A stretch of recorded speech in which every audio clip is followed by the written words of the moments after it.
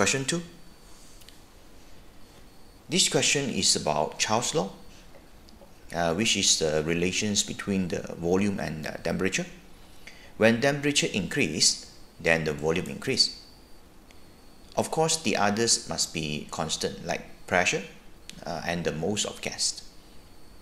In this question, the gas used is oxygen, and this oxygen gas can prepare from this H2O2 uh, with the manganese oxide, manganese 4 oxide. And this is equation H2O2 decomposed to form water and oxygen gas. So we can get the oxygen gas okay, from this uh, decomposition. Okay, in this part, uh, there is a safety hazard. Whenever they give safety hazard, then you have to uh, be careful because uh, they might ask uh, how to uh, give the precaution on this right? So H2O2 is corrosive uh, to skin. Uh, this is a setup that used to uh, investigate uh, Charles law. So we have a gas syringe to measure the volume that change and of course thermometer used to measure the the temperature that used. So means we can get the T and the V and uh, of course the oxygens uh, was collected and put in this uh, conical flask. And of course uh, the temperatures can be controlled using this uh, the heating. So this is a setup and uh, we will discuss this again later. Now once the apparatus is assembled the volume of oxygen gas in the gas syringe is 2 cm cube. There are 80 cm cube oxygen remaining in the flask. So in this flask, 80 cm cube. In the gas syringe, initially is 2 cm cube. Total volume of oxygen is 82 cm cube. Now, the Charles law is investigated by the following method. Okay, so once is uh, this setup assembled, allow the apparatus to reach uh, room temperature, record the this temperature and the total volume of oxygen means uh, before we we heat it uh, so record the temperature and the volume. Okay after that uh, we need to change the temperature. Okay let's say now uh, heat uh, apparatus until 30 degrees C and records the volume of oxygen in the gas syringe. After that repeat this uh, heating means uh, repeat this heating at interval at, of 5 degrees C until 70 degrees C. Okay, after that, uh, we'll get this table. So this table is from the different temperature from the initial until 70. Okay, and this one is the temperature in Kelvin, so just uh, plus 273. Uh, after that, uh, this is the total volume of oxygen gas that uh, measured. So from 82 until 98. Okay, use this one to plot the graphs later. Okay, before that, uh, let's uh, discuss the part A. Other than wearing the safety goggles, give a safety precaution that the student must take during the preparation of oxygen. Uh, already told you just now, H2O2 is corrosive. When it's corrosive, then we need to make sure uh, we wear the gloves. Uh, nowadays, uh, if you put gloves only, uh, it's not really that uh, that specific. So now you must add chemically resistant because it say that corrosive. You cannot just wear uh, normal gloves. So the gloves must able to resist the corrosion. So you must say that wear chemical resistant gloves. Okay, part B1. Complete the following diagram to show how the student can obtain oxygen by the gas collection over water for the use in the experiment in figure 2.1 just now. So must use the water means we must let the gas pass through the water. Uh, that's a requirement. Uh, this is the uh, answers from the mark scheme. Uh, so make sure uh, the no leakage and the delivery tube here do not immerse into the solution. Make sure it's above the solution. Make sure it's airtight, no leakage. So put a stopper here. Okay, after that, uh, must show this uh, water bath. And uh, it's not really practical to put a burette or others uh, like uh, measuring cylinder burette. Because in this experiment just now, the, this figure uh, is the conical flask. So we just use the conical flask to get the oxygen then. So we put this uh, conical flask.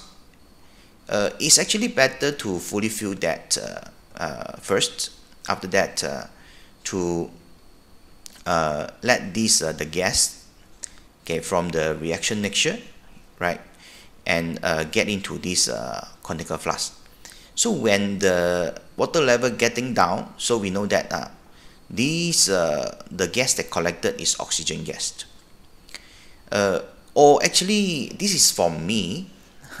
I, I, I personally think that this is actually uh, more even more practical. Uh, so this is not really in the drawing uh, uh, in the mark scheme. So this is uh, suggested by me.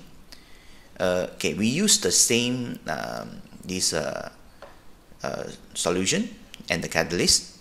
And again uh, make sure is uh, airtight no leakage.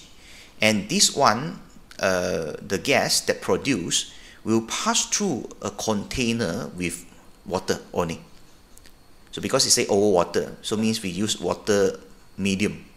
So make sure this tube is uh, uh, immersed in the water and let this gas push through the water after that, uh, the gas that produced here, so it will go into the conical flask that we're going to use later. So we just let the reaction uh, the uh, start and let it react for a while and let these oxygens fill up right so after that we can detach these two and we can insert the gas syringe and the thermometer uh, so this is the the uh, the one that su uh, suggested by me. Okay, uh, but this uh, this one is from the mark scheme. Uh.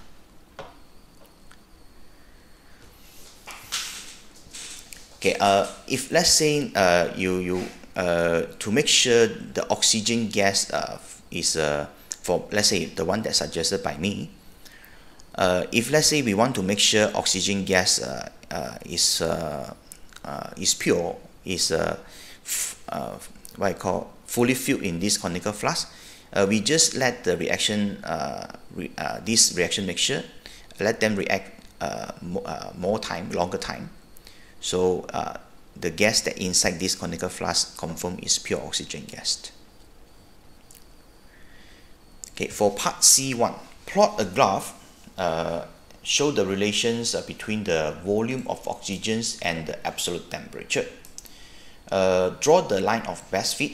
Um, I show mine uh, using this uh, the data in the table just now, this one, to plot the graph. Okay, this one no calculations needed, just follow this and plot. Okay, so make sure you follow these uh, the values and plot correctly. You should get something like this. Uh, make sure you draw the line of best fit. Make sure the line uh, uh, is uh, uh pass through as many plots as possible and is balanced. Means uh, above and below the line uh, is balanced.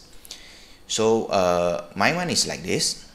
So if you draw the correct best fit then you can get near to the values in the mark scheme Okay, so now later we'll uh, uh, we'll discuss this abnormalus. Okay, this the one that uh, at uh, 308 uh, Kelvin. Uh, this is the abnormalus point. We'll discuss this one later.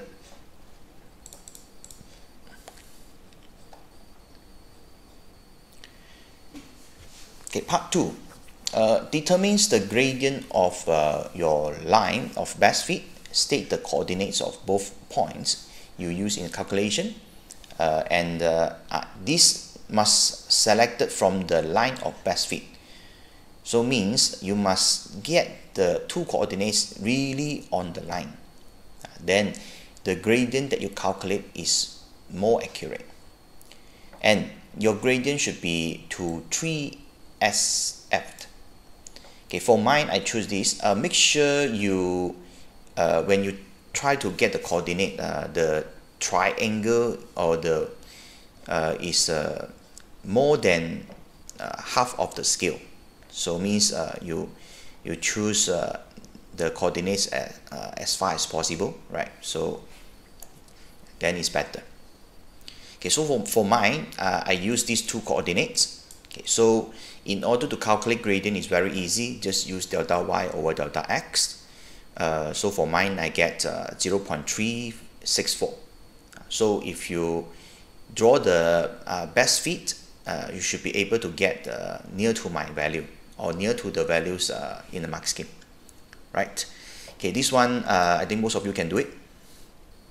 Uh, now, part D1. On the graph, circle the point which you believe uh, to be the most abnormalist. Uh, is the point that uh, at 308 Kelvin just now, right? Uh, suggest a possible explanation for this abnormality. Um, now, let's get back to this graph. Yeah, okay. So this one is the abnormalist point. Uh, is actually uh, supposed to be somewhere here, means near to the line.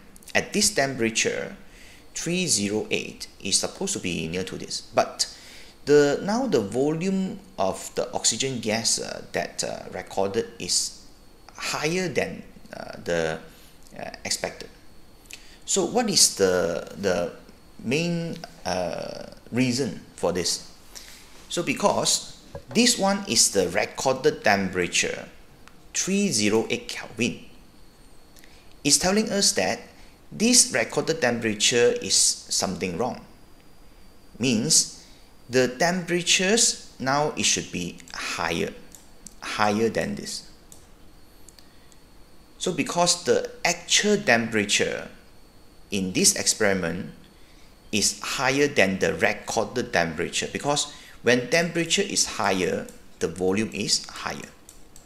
So why this volume that obtained is higher? Because the actual volume is higher than the temperatures that recorded okay, in this experiment. Means the, the ones that in the table. Uh, so that's why the volume okay, is larger than the actual larger than actual. So this is a volume that larger than actual. Actual should be, means at the 308 Kelvin, it should be here, right? So this is larger. Uh, that's that's a that's a explanation. Uh, why? Because okay, the actual temperature was higher than the recorded one. Means the actual temperature is higher than 308. That's why the volume that recorded is larger than the actual volume. Part E1 Identify the independence variable. This one is the one that we can change. So the one that we can change is the temperature. So we can use different temperature actually. Means when we use the different temperature, then uh, the others will change. Means the volume of the gas will change. Okay, part 2 suggest how the experiment could be made to be more reliable. Means uh, uh, the result is uh, so-called more accurate. Uh, please do not uh, give this one. Repeat experiment and take average. Um, because it's meaningless to take an average. In order to make it more reliable, actually we should do this. Take more volume measurement means we try to use more temperature, let's say 75, 80, and others. So we use more volume measurement from various temperature. Therefore, uh, the graphs here, we can get more plots. And after that, we can get a better best fit and we can remove more abnormalities. Uh, so that, that's why uh, we should take more volume measurement, not take average. Uh, so this is a better way to improve the results. Part F. The ideal gas equation show PV equal to nRT. Uh, so in this uh, question is actually the the y and x-axis is this vol uh, the volume and temperature. So therefore we know that uh, the gradient is actually nr over p. So nr over p n is the moles of the the the gas. So because now it's asked uh, what describe how the gradient of the graph that you have plot would be affected using a smaller volume of oxygen uh, if smaller volume of oxygen means uh, the moles is getting lesser means it will be lesser. So therefore this gradient the value will be smaller. So gradient is smaller for the smaller volume of oxygen because n is lower right? Uh, so as the gradient is this uh. okay that's all. Thank you